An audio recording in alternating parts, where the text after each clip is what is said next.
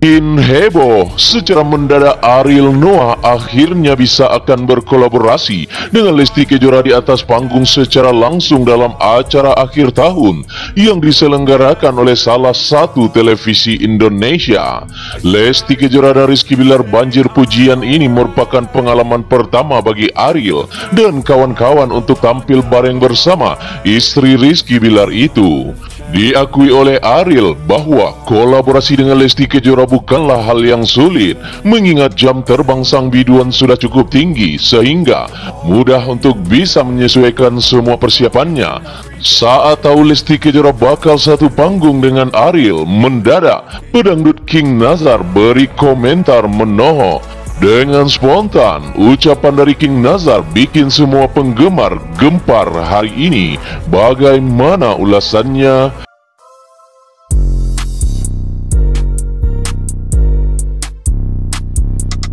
Lesti Kejora disebut-sebut sebagai talenta baru di dunia musik Indonesia yang bisa menggantikan sosok seperti diva dangdut musik Indonesia Krisdayanti.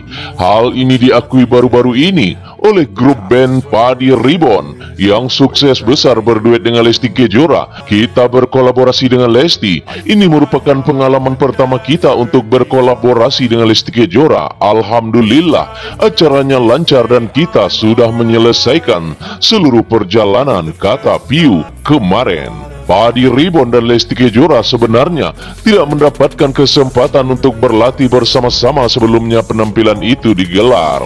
Saat tahu aksi dari Lesti Kejora yang terdengar merdu bersama kolaborasi King Nazar menyatakan Lesti Kejora ini di luar ekspektasi dirinya yang mengira selama ini bahwa Lesti Kejora itu memang luar biasa ungkap King Nazar.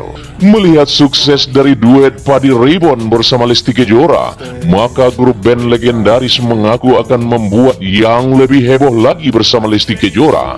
Ariel Noah sendiri mengaku akan berkolaborasi bersama Lesti Kejora dalam sebuah acara spesial akhir tahun yang akan digelar pada 30 hingga 31 Desember ini. Menurut Ariel Noah, Lesti Kejora adalah salah satu target duetnya menjelang akhir tahun ini. Kenapa demikian? Saat diketahui baru-baru ini, Lesti Kejora sangat sukses berduet dengan Pari Ribbon dalam acara konser SCTV Music World 2023.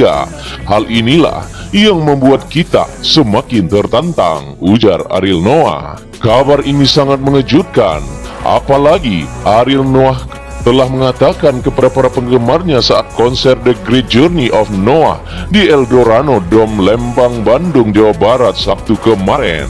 Dalam pengumuman terbarunya, Ariel mengatakan Noah akan konser bersama Lesti Kejora dan itu akan menjadi konser penutup menjelang band Noah vakum untuk tahun depan. Istirahatnya band Noah itu untuk manggung dilandaskan karena ingin merefresh energi dan pikiran mereka. Nah, menjelang vakum inilah Noah bakal gelar konser bersama Lesti Kejora untuk terakhir kalinya.